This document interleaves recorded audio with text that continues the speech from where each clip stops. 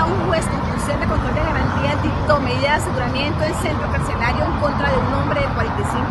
años de edad, quien de manera reiterada había violentado sexualmente a su sobrina desde que era una recién nacida. Las agresiones sexuales las comenzó a sufrir la menor en enero del 2013 cuando tenía tan solo 5 meses de nacida, hechos por los que fue condenado a 12 años de prisión. Al salir de la cárcel, tras el pago de la sentencia entre diciembre del 2021 y julio del 2022 en el corregimiento de Puerto Perales del municipio de Puerto Triunfo, Antioquia, la menor, ya de 9 años de edad, al parecer fue sometida nuevamente a vejámenes sexuales por parte de su tío.